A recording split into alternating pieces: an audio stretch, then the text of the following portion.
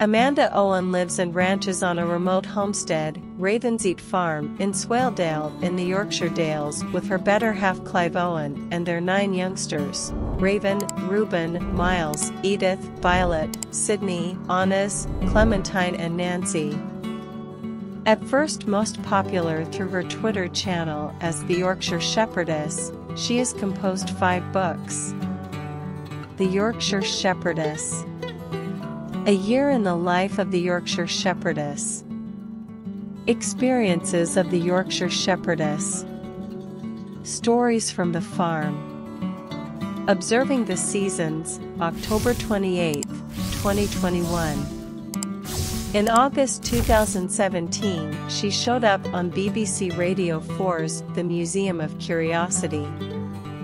Her speculative gift to this fanciful gallery was a shepherd's whistle, used to speak with her sheep canines. On July 14, 2019, she was the subject of Radio 4's On Your Farm. On October 21, 2019, she showed up on the webcast Trees A Crowd with David Oakes. On July 10, 2021, she showed up as the included visitor on Radio 4's The Poet Laureate Has Gone to His Shed with Simon Armitage. Amanda Owen has nine kids. Her oldest raven Ellie Livingstone Owen, conceived 2001. Reuben Livingstone Owen, conceived 2003. He is an ordinary supporter of episodes of This Week on the Farm and its live side projects, recorded at Cannon Hall Farm in South Yorkshire. Miles Livingstone Owen, conceived 2006. Edith Livingstone Owen, conceived 2008.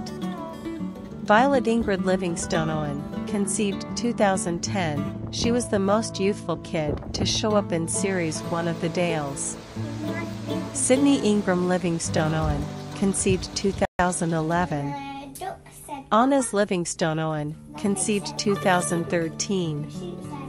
Clementine Dolores Livingstone Owen, conceived 2015, likewise alluded to in the program as Clemmy, Clem and Tilly.